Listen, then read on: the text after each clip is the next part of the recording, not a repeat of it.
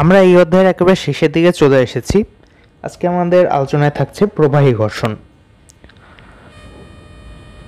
একটা টেনিস বলকে উপর থেকে পানিতে ফেলা হলো।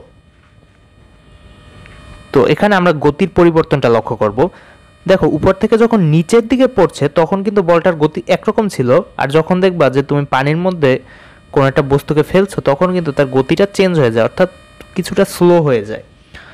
তুমি এই এক্সপেরিমেন্টটা একটা মার্বেল আর একটা গ্লাসে পানি নিয়ে করে দেখতে পারো। যখন মার্বেলটাকে তুমি উপর থেকে ফেলবে, তখন মার্বেলটার পরন্ত অবস্থায় গতি একরকম থাকবে। আর যখন সেটা পানির ভিতর পড়বে, পড়ার পর নিচে যাওয়ার আগ পর্যন্ত বলটার মার্বেলটার গতি কিন্তু অন্যরকম হবে। অর্থাৎ উপরে পড়ার থেকে কিছুটা স্লো হবে।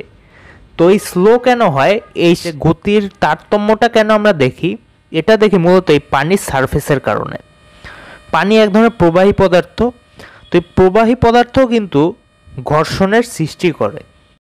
এই জন্য এই ঘর্ষণকে বলা হয় প্রবাহী ঘর্ষণ বা ফ্লুইড ফ্রিকশন তো আমাদের ফ্লুইড জাতীয় পদার্থ যেসব রয়েছে সেই সব পদার্থের দরুন একটা ঘর্ষণের সৃষ্টি হয়।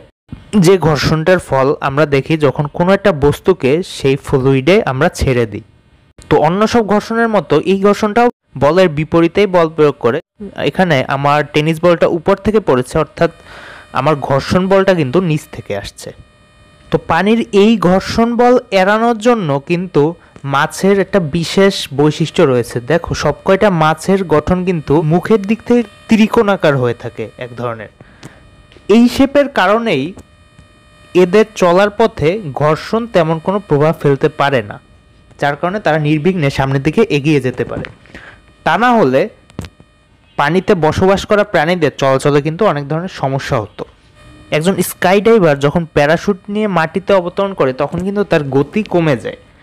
যেমন দেখো, ইনি যদি প্যারাশুট ছাড়া নিচে জাম্প দিত, তাহলে কিন্তু তার গতি থাকতো অনেক বেশি এবং তার মাটিতে পড়ার পর ইঞ্জুরির সম্ভাবনা থাকতো। কিন্তু যখনই সে প্যারাশুটটা ওপেন করে দেয়, তখন কিন্তু এই বায়ুর ঊর্ধ্বমুখী ফোর্সের কারণে